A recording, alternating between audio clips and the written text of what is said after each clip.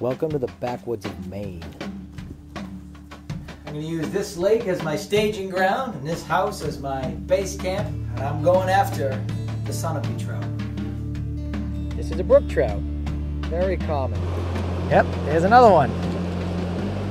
Very dark color on this one. Very dark color. There you are. A little brookie. Another really big brookie.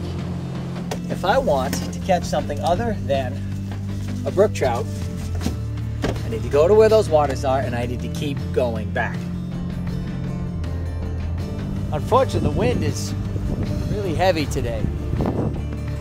This lake is still frozen. Pretty small, I think. Oh, that's a tangle and a half. The longer I go without catching a sunapee, the more I doubt myself. Perhaps I need to rethink my approach, maybe do something drastic.